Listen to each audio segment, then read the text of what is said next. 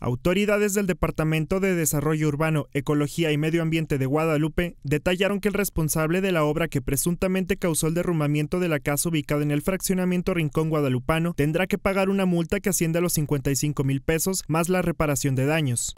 Este es el oficio de la sanción que se le está haciendo al propietario de la obra, más aparte reparar todos los daños y más aparte pagar el permiso.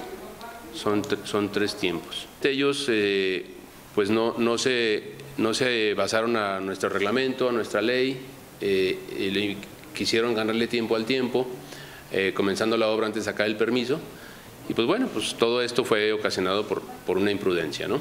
Una imprudencia del operador de la máquina y de quien estaba pues llevando a cabo la, la obra. Hugo Díaz Soto, director de Desarrollo Urbano, atribuye que los problemas de derrumbamiento en su origen se deben a un tema de compactación, que es un proceso artificial por el cual las partículas de suelo son obligadas a estar en contacto unas con otras. Además, aclaró que en su momento se realizó un estudio y el terreno presentaba las condiciones para construir.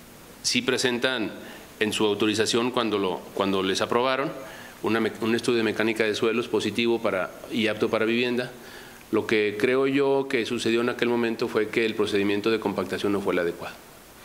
Los, los finos y los gruesos no hicieron una convivencia armónica para hacer la compactación.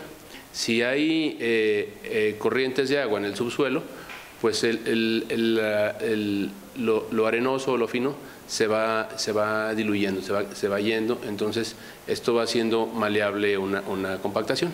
Este tema fue competencia de la constructora que realizó el trabajo, que apunta que parte del problema es la baja calidad de los materiales usados, ya que Infonavit no se dedica a la construcción de casas. Este procedimiento de compactación, te comento, no fue el, más adecuado para este, para este tipo de superficies, que es, un, es una pendiente, tienen pendientes muy, muy, muy agresivas.